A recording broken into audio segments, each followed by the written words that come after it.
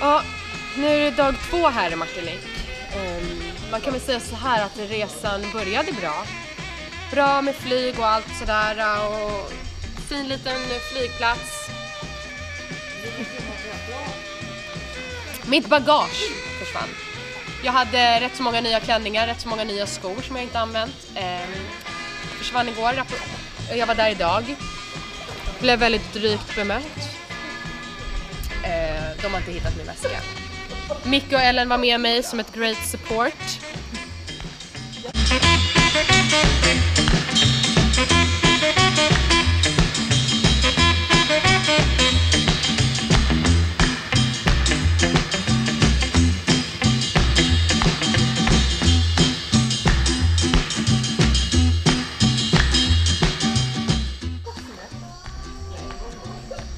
Min väska är borta.